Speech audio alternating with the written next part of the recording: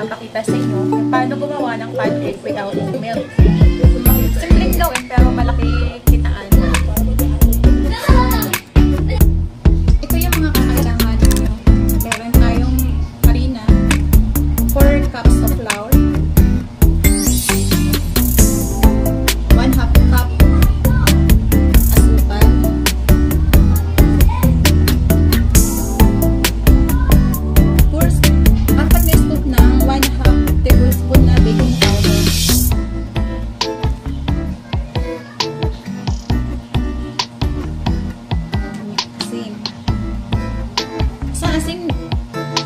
depende sa panlasa nyo. Kung gusto nyo ng mas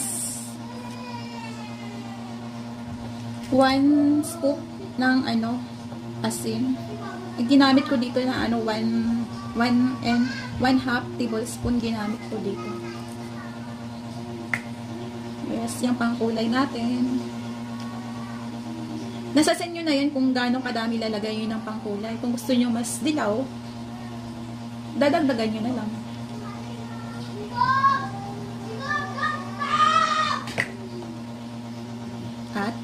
Isang clove.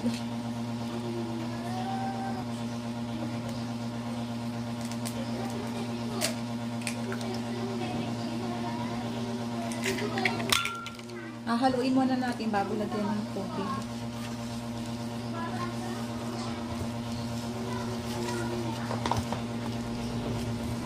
Sa paglalagay ng tubig, dapat unti-unti muna para maano natin yung texture kung tama na o hindi pa. Yung texture ng puto tsaka pancake halos parehas na.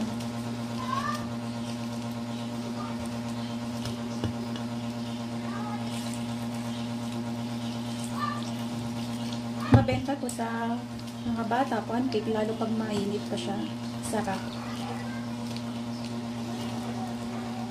Madami pa akong recipe na alam sa pang merienda. Pero abangan nyo lang sa mga susunod kong video na ilalabas. Lahat papakita ko para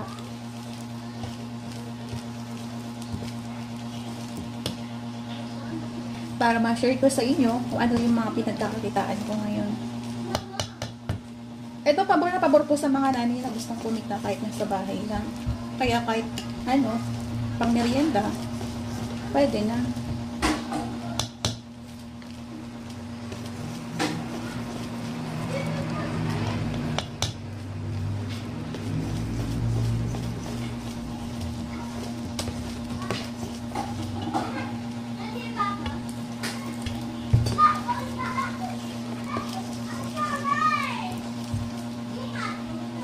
Pwede naman gumamit ng hand mixer para hindi ka mahirapan. Pero ito yung ginamit ko. May hand mixer ako pero mas gusto ko ito sa pancake.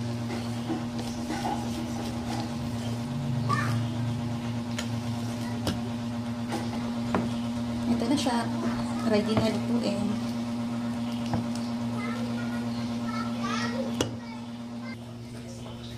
Mag-add ako ng mantika para hindi siya dumikit.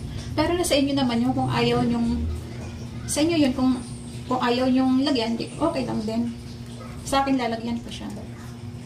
1 teaspoon lang ng mantika nilagay ko kasi kaunti lang siya kasi pag ito, margarine, pwede rin naman siya, ito ipapahid mo sa kawali para hindi din siya dumikit. Kaya parang mas okay na wag na lang lagyan ng mantika kasi may margarine naman. Ganito yung ginagamit kong pang scoop.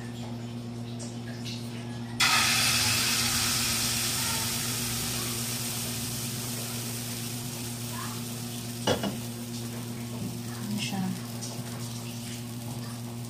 Limang piso benta ko na. Dapat ganito yung ano niya, oh. One scoop na ganito, limang piso. Hindi naman siya kailangan punuin. Mga 3 point sa ganito. 3 point niyan.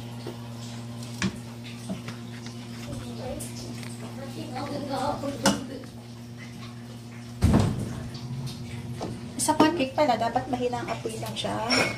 Dapat ganito lang. Ganyang apoy lang dapat. Mahina lang siya. Para hindi masunog yung ilalim. Ayan, nagbabubbles na siya.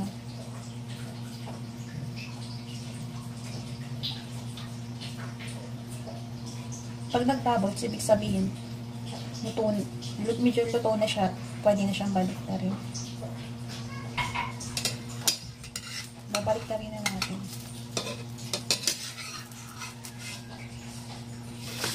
Yan.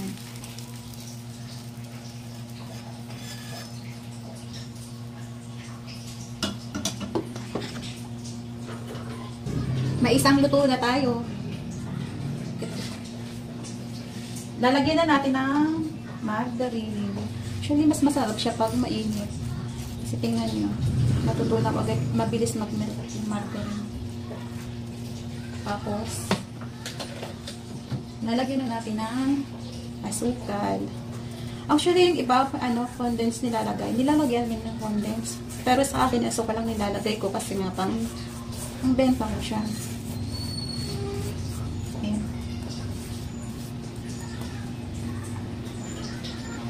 Ito na siya. Pwede na kainin. Salamat guys. Next time ulit. Up. Para updated kayo lagi sa mga video ko, please like and subscribe and hit the notification bell para updated kayo lagi sa lahat ng video ko. Maraming salamat. Bye-bye.